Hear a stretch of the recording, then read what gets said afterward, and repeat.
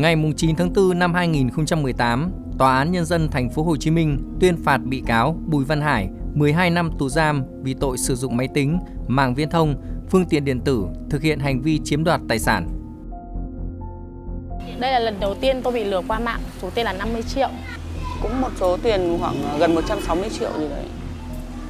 Gần 160 triệu đấy là ừ, bạn bè rồi cả khách hàng. Cái hacker họ làm gì với cái face của tôi tôi không hề biết được tôi hoàn toàn không vào được, tôi không biết được và đến lúc mọi người chuyển tiền rồi thì bây giờ tôi cũng không thể nào mà, cái khả năng tài chính cũng không thể nào mà có thể bù đắp lại cho mọi người được cái cái cái số tiền đó các hoạt động lừa đảo, chiếm đoạt tài sản qua mạng ngày càng phát triển và đặc biệt là thời gian gần đây là tình hình tội phạm à, lừa đảo qua không gian mạng diễn biến hết sức phức tạp.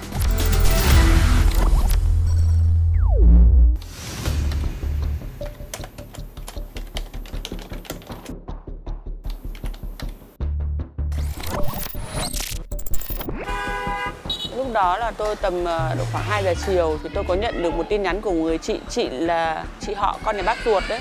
Thì chị có nhắn cho tôi là nhờ tôi ờ, vào bình chọn cho một bé đang thi ở giọng hát Việt thì tôi nghĩ rằng đó là cái ờ, chương trình chị đang làm. Thì cũng như mọi lần thì tôi cũng vào tôi bình chọn thôi. Thì tôi bình chọn thì nhưng mà lần này nó khác hơn những cái lần trước là nó có hỏi về mật khẩu Facebook của tôi.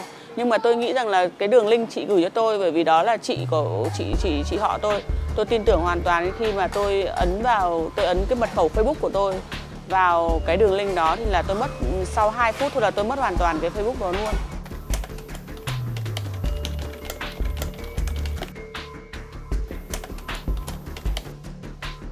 Thì lúc đấy chị không mảy may gì là chị chuyển luôn, chị chuyển luôn. Bình thường là chuyển cho tài khoản của trang, nhưng hôm đấy lại là chuyển cho tài, một tài khoản khác.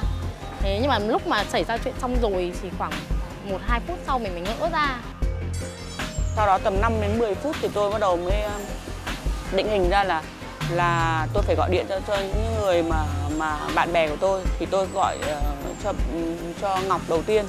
Tôi gọi cho Ngọc đầu tiên bởi vì Ngọc thì cũng vào một cái nhóm chat của một hội bạn thân. Cũng nhiều người và tôi nghĩ rằng là những cái nhóm chat đó là những hội bạn thân thì tôi sẽ nghĩ là nó sẽ lợi dụng nhiều nhiều tên. Tôi mới gọi cho Ngọc thì tôi báo cho Ngọc là Ngọc cái Ngọc Facebook của ta bị hack thì uh, thì à, mày lên nhóm mày báo cho mọi người hộ tao nhé. Thì tôi cũng gọi điện, thì lúc đó Hạ Ngọc đã hốt hoảng nói lên là ô tao vừa chuyển 50 triệu. Các đối tượng đã sử dụng một số các thủ đoạn phổ biến như, thứ nhất là đối tượng đã sử dụng các dịch vụ voi IP để mạo danh cán bộ trong các cơ quan thực thi pháp luật như là công an, tòa án, viện kiểm sát để gọi điện cho người dân và nói rằng là họ đang bị kiện hoặc là có liên quan đến một vụ án đang điều tra để yêu cầu người dân truyền tiền vào cái tài khoản mà do các đối tượng cung cấp để phục vụ công tác điều tra mạo danh là cán bộ ngân hàng hoặc là nhân viên bưu điện để thông báo về tài khoản của ngân hàng bị lỗi hoặc là nợ cước điện thoại để yêu cầu người dân à, phối hợp giải quyết qua đó để hoạt động lừa đảo. Thứ hai là lừa đảo qua các mạng xã hội, cụ thể như là chiếm cái quyền điều khiển cái tài khoản mạng xã hội của người bị hại sau đó để nhắn tin lừa đảo đến các cái ờ, danh sách của bạn bè của người bị hại và kết hợp với lại các cái mạng xã hội để xây dựng tình cảm hoặc là hứa hẹn, gửi các cái quà có cái giá trị lớn, sau đó là yêu cầu người à, bị hại là nộp các cái khoản thuế hoặc là cái tiền để thông quan để nhằm chiếm đoạt tài sản.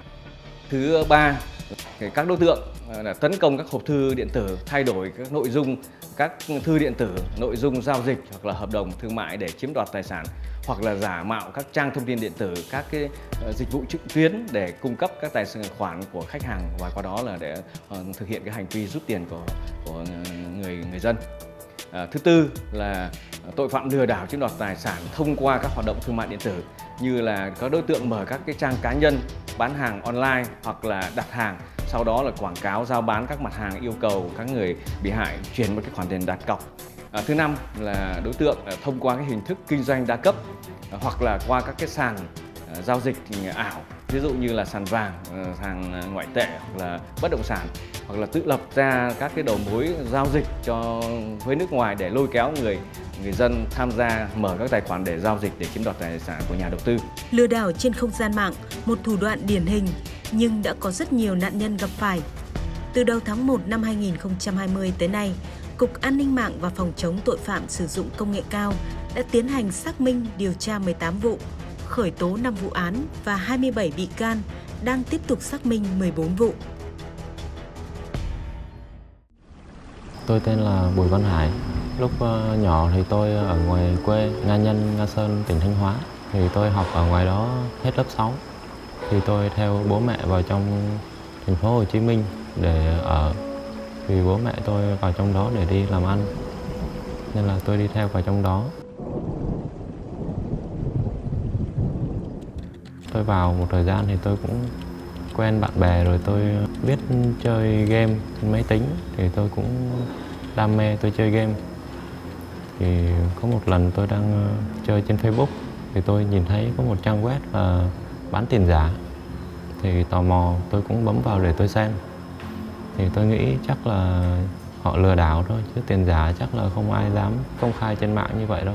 Thì tôi cũng nảy sinh cái ý định là sẽ tạo một trang Facebook và đăng các hình ảnh, các cọc tiền tôi tải ở trên mạng về. Tôi ờ, rao bán. Đầu tiên tôi tạo một cái tài khoản Facebook và đặt tên là Nhật Vi. Và sau đó tôi ờ, đăng hình ảnh một người phụ nữ khoảng 30 tuổi để làm ảnh đại diện. Và rồi ờ, tôi lên mạng tôi tìm kiếm các hình ảnh các cọc tiền mệnh giá 100 ngàn, 200 ngàn và 500 ngàn để tôi đăng lên kèm theo số điện thoại và nội dung là rao bán tiền giả. Và tỷ lệ là một đổi năm tức là một triệu đổi lấy 5 triệu tiền giả. Tôi cũng chỉ nói với họ là tiền giả của tôi bán là hàng loại một nên là trông rất là giống thật mắt thường thì rất khó để phân biệt được. Mà chỉ khi vào ngân hàng thì mới bị phát hiện thôi. Và đồng thời tôi cũng tạo ra một số trang Facebook phụ để tôi bình luận vào trong cái trang Facebook bán hàng của tôi. Bình luận ví dụ như là, em đã nhận hàng được lúc chiều rồi nha chị. Hoặc là, hàng dễ xài lắm nha em. Đó là những cái lời bình luận tôi tự bình luận để mục đích là cho những người khác người ta nhìn vào. Người ta nghĩ là tôi đã bán thành công cho những người khác rồi. Thì ai nhắn tin đến cho tôi thì tôi sẽ lừa người đó. Thì đầu tiên tôi sẽ hỏi số điện thoại và địa chỉ để giao hàng cho họ. Rồi sau đó tôi hỏi họ muốn mua bao nhiêu. Ví dụ như họ muốn mua một triệu đồng tiền thật thì đổi được 5 triệu tiền giả thì tôi sẽ yêu cầu họ gửi cho tôi một triệu đồng tiền thật bằng cách là mua thẻ điện thoại và gửi mã số qua cho tôi sau khi mà tôi nhận được một triệu tiền thẻ điện thoại, thì tôi sẽ giả bộ đi qua kho để lấy hàng và đi giao. Thì ờ, một lúc sau tôi nhắn tin lại cho người đó. Tôi nói là cái gói một triệu đó bây giờ hết rồi và chỉ còn gói 5 triệu đồng thôi, tức là được 30 triệu đồng tiền giả. Thì ờ, tôi nói người ta lấy luôn gói đó. Nếu họ đồng ý thì họ gửi thêm cho tôi 4 triệu đồng nữa. Còn nếu họ không đồng ý thì tôi sẽ kết thúc giao dịch và chiếm đoạt một triệu đồng của họ. Tôi làm được một thời gian khoảng mấy tháng thì tôi có gặp được một người rồi ờ, tôi lừa được chị ấy một khoản tiền 4 tỷ 239 triệu. Hôm đó tôi đang đi ờ, rút tiền từ thẻ ATM Khi mà gần về tới nhà, lúc đó tôi mới rút được ờ, 30 triệu đồng. Thì đang trên đường về nhà Thì tôi bị cơ quan công an Ờ, chặn đường và bắt với cái phương thức thủ đoạn ờ, lừa đảo trên mạng của anh Hải, anh Hải đã chiếm đoạt ờ, với số tiền là hơn 5 tỷ đồng của nhiều người. Qua đó chúng ta thấy được cái hành vi phạm tội của anh Hải thì rất nguy hiểm cho xã hội, gây hậu quả nghiêm trọng, xâm phạm đến quyền sở hữu tài sản hợp pháp của công dân và gây hoang mang, dư luận, xâm phạm đến chế độ quản lý an ninh mạng. Đồng thời, việc mua bán tiền giả cũng đã gây ảnh hưởng đến à, tình hình an ninh tài chính tiền tệ. Hiện nay thì ờ, đối với pháp luật Việt Nam thì sẽ có hai cái loại chế tài để xử phạt. Ờ, chế tài thứ nhất là chế tài hành chính và chế tài thứ hai là chế tài hình sự. Ờ, đối với chế tài hành chính hiện nay thì nếu mà có các cái đối tượng mà có cái hành vi lừa đảo thì có thể sẽ bị xử phạt tiền từ 1 đến 2 triệu đồng. Với một cái số tiền lừa đảo là dưới 2 triệu đồng còn trong trường hợp mà các cái đối tượng lừa đảo mà lừa đảo từ trên 2 triệu đồng thì hiện nay thì trong Bộ luật hình sự năm 2005 và sửa đổi năm 2007 à, cái mức hình phạt cao nhất trong cái tội lừa đảo là ở lên tới tù trung thân. Trên thực tế, để xử lý các vụ việc lừa đảo trên không gian mạng gặp nhiều khó khăn, nhất là đối với các đối tượng lừa đảo xuyên quốc gia. Khi mà lừa đảo qua không gian mạng thì nó có tính chất mang tính chất gọi là xuyên quốc gia xử lý những cái đối tượng mà không cư trú ở Việt Nam mà người nước ngoài thì phải sử dụng các cái biện pháp như là uh, hỗ trợ tư pháp, uh, ủy thác tư pháp rồi có các hiệp định tương trợ tư pháp thì xử lý những cái đối tượng đấy tương đối là mất thời gian và rất là khó khăn. Đấy là thứ nhất. Thứ hai là liên quan đến các cái chứng cứ điện tử để thu thập được đấy thì đòi hỏi là những cái cán bộ điều tra Ờ, phải rất là hiểu nghiệp vụ nhưng mà phải hiểu về cả cái kỹ thuật thứ ba nữa đó là việc là các cái đối tượng đã dùng hình thức lừa đảo rồi ấy, thì họ có rất nhiều các cái thủ đoạn mà sau khi lừa đảo xong thì họ có thể là à, xóa được mọi cái dấu vết và như vậy là uh, rất phục vụ khó, khó khăn cho cái công tác là uh, điều tra để phòng chống các cái tội phạm này.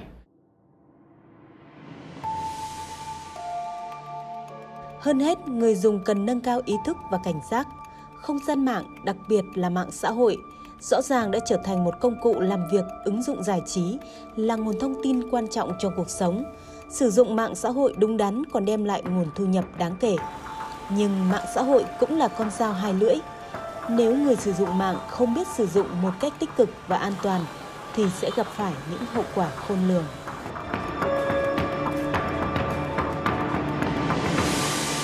Hacker họ làm gì với cái face của tôi tôi không hề biết được. Đa phần từ trước tới giờ tôi kinh doanh bán hàng đều qua Facebook hết. Bởi vì Facebook có rất lâu năm là nhất thứ hai là rất nhiều bạn bè và rất nhiều clip khách hàng của trong tôi ở đấy tôi, tôi rất nhiều. Khi tôi mất là tôi mất hết tôi mất hết. Bây giờ tôi tìm lại uh, đang từ mấy nghìn bạn bè mà bây giờ tôi tìm lại cũng chỉ được một hai trăm bạn bè mà. Đó là chỉ là bạn bè nhưng không phải là khách hàng. Đó chỉ là bạn bè thôi. Còn clip khách hàng của tôi là hoàn toàn mất luôn nên là cái công việc công việc bán hàng của tôi là gần như là gần như là nó bị ảnh hưởng rất rất rất nhiều. Ví dụ ngày trước là một ngày nó sẽ ra rất là nhiều đơn bây giờ nó có ngày có không có không không không có đơn luôn. Để mà uh, phòng tránh các cái hoạt động lừa đảo qua không gian mạng thì chúng tôi đề nghị người dân thứ nhất là không cung cấp thông tin cá nhân số điện thoại địa chỉ nhà riêng cho bất kỳ đối tượng người ờ, nào mà ờ, gọi điện đến các cái số của của với với các cái số lạ và tự xưng là các cơ quan nhà nước hoặc là đặc biệt là các cơ quan thực thi pháp luật như công an, tòa án, viện kiểm sát để thông báo và yêu cầu điều tra vụ án qua cái điện thoại. À, thứ hai là không chuyển tiền đặt cọc mua hàng khi không rõ thông tin và danh chính địa chỉ của người bán. Thứ ba là không cho mượn hoặc thuê các giấy tờ cá nhân, thường xuyên kiểm tra và cập nhật các tính năng bảo mật và quyền riêng tư trên các cái tài khoản Ờ, mạng xã hội và chúng ta cũng phải thận trọng khi uh, nhận các cái thư điện tử ờ, không nhấp vào các cái liên kết mở các tệp đánh kèm trong các cái hộp thư điện tử mà chúng ta không biết cái người gửi là ai tháng 1 năm 2020, Cục An ninh mạng và Phòng chống tội phạm sử dụng công nghệ cao đã phối hợp với Công an tỉnh Quảng Nam, Công an thành phố Hồ Chí Minh đấu tranh triệt phá chuyên án bắt giữ khởi tố 10 đối tượng, trong đó hai đối tượng là người Malaysia. Tổng số tiền các đối tượng chiếm đoạt lên tới hơn 500 tỷ đồng tháng 6 năm 2020, phối hợp với Công an tỉnh Thừa Thiên Huế triệt phá thành công chuyên án đấu tranh với nhóm đối tượng lừa đảo chiếm đoạt tài sản qua Facebook. Bắt giữ 3 đối tượng thực hiện hành vi lừa đảo tài sản của gần 500 nạn nhân trên cả nước với tổng số tiền chiếm đoạt lên đến 117 tỷ đồng.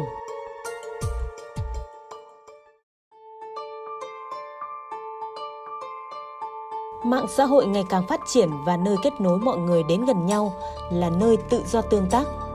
Song song với đó, mạng xã hội cũng tiềm ẩn những cạm bẫy và cả những cám dỗ.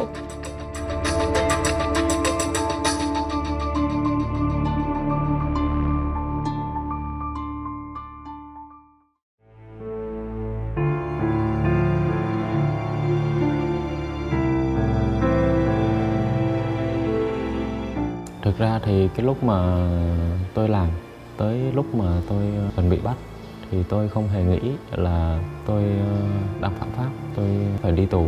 Thực ra lúc đó là tôi còn trẻ, hiểu biết về pháp luật tôi rất là ít và nhận thức tôi cũng còn yếu kém.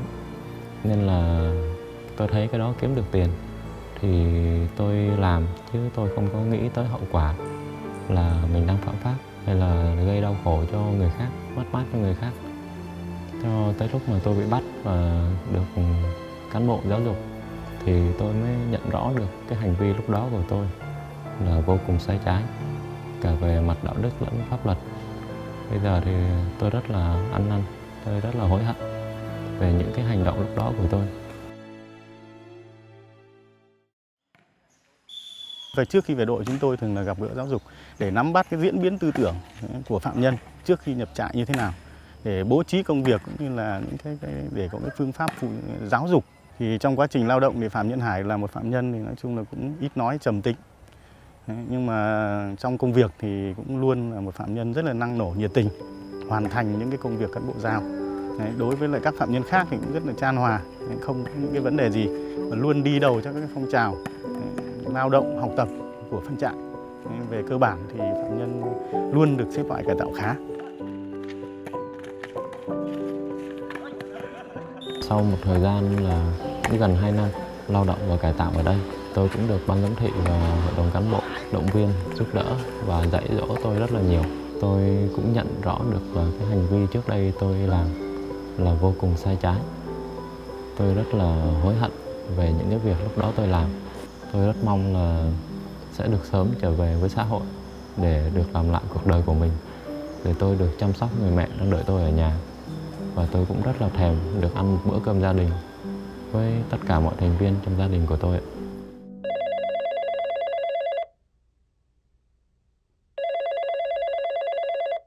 Alo.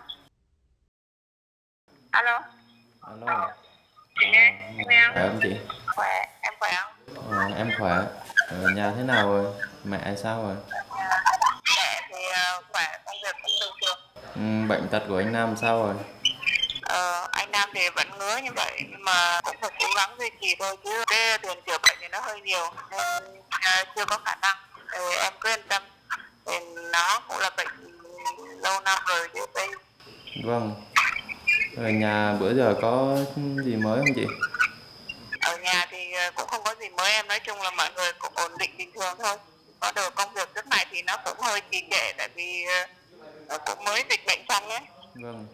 Nhưng mà em cũng không sao em cứ cố gắng ở trong đó để gìn sức khỏe cố gắng cải tạo tốt với lại mình có thời gian để nhìn nhận lại sự việc để xem coi mình đã sai như nào ờ, sẽ, trong tương lai sẽ cố gắng thay đổi như nào ha Dạ để vâng. về có tương lai tốt đẹp hơn ha Dạ.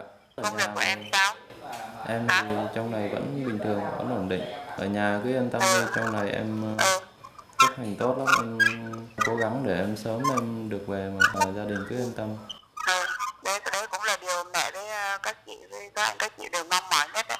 Em cứ lo cuộc sống của em ở trong đó. Thứ nhất là ổn định, thứ mình hòa đồng với mọi người. Thứ ba nữa là giữ gìn cái sức khỏe. Vâng. Nhớ mẹ cũng nhớ. Nên là cứ hỏi chị á. Dạ. Người chị với mẹ ngoài đi làm nhưng mà cũng phải giữ gìn sức khỏe cho mình nha. Ừ, Có cố gắng làm rồi ảnh hưởng tới sức khỏe. Chị ở nhà cố gắng động viên mẹ nhé. Với lại chăm sóc cho mẹ giúp em nhé. ừ, Dạ, chắc cũng hết giờ rồi. Em cúp máy. ừ. Dạ, em chào chị ạ. Dạ, em xong. Phạm Nhân Hải trong quá trình từ khi về cái đội rau xanh chúng tôi đây, đội rau xanh của tôi, tôi quản lý thì Phạm Nhân Hải à, nói chung là tư tưởng thì cũng cơ bản ổn định. Bước đầu không thấy gì, không có cái biểu hiện gì bất thường. Ừ, nói chung là rất là vui vẻ, cởi mở. Ừ, Phạm nhân cũng xác định rõ cái, cái bản án, nghiêm chỉnh chấp hành cái bản án mà tòa án đã tuyên. Thì sau đó một thời gian thì nói chung trong quá trình lao động thì Phạm Nhân Hải đã có những cái chuyển biến rất là rõ rệt. Bên cạnh đó là, là, là được cán bộ cũng thường xuyên gặp gỡ, giáo dục, có những cái biện pháp phù hợp, đấy. bố trí công việc từ một phạm nhân mới lên thì rất là, là ít nói, là khó để tiếp cận. Sau đó thì rất là vui vẻ, niềm nở, đấy, thấy công việc cũng phù hợp và xác định rõ cái bản án của mình. À, lúc trước tôi ở ngoài thì tôi mê chơi game lắm. Tối ngày tôi ngồi máy tính tôi chơi game thôi. Chứ tôi chẳng biết làm cái gì cả. Rồi bây giờ vào trong này thì ờ, được cán bộ và các phạm nhân ở đây từ trước người ta hướng dẫn cho tôi cách ờ, làm nông nghiệp. Thì bây giờ tôi cũng biết ờ, trồng cây, chăm sóc cây và trồng rau sạch để ăn. Tôi cũng rất là thích và quý cái thành quả lao động của mình mà mình dùng bằng đôi bàn tay và sức lực của mình tạo ra tôi rất là trân trọng cái thành quả đó thì tôi cũng có dự định là sau này tôi hết án thì tôi sẽ trở về quê dùng ruộng đất ở ngoài đó để tôi ờ, trồng rau sạch tôi rất là thích cái quy trình trồng rau sạch Tôi ờ, muốn đầu tiên là tôi ờ, trồng rau sạch và cung cấp cho chợ và các cửa hàng ở xung quanh đó. Rồi khi có đủ vốn thì tôi sẽ mở một trang trại nho nhỏ để trồng rau sạch và cung cấp cho nhiều người hơn. Ví dụ như là đem lên thành phố để bán cho các cửa hàng.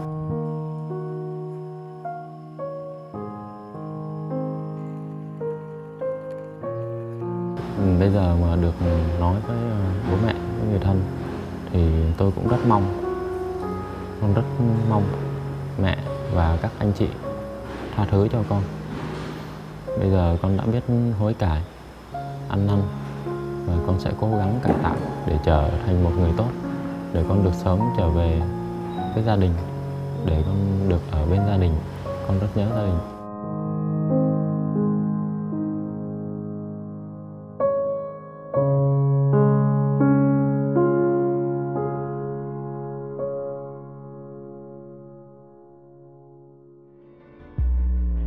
Theo số liệu từ Cục An ninh mạng và Phòng chống tội phạm sử dụng công nghệ cao, từ tháng 1 năm 2020 đến tháng 8 năm 2020, tiếp nhận hơn 800 tin báo, đơn tố giác tội phạm liên quan đến lừa đảo chiếm đoạt tài sản trên không gian mạng, gây thiệt hại hàng nghìn tỷ đồng, khởi tố 114 vụ,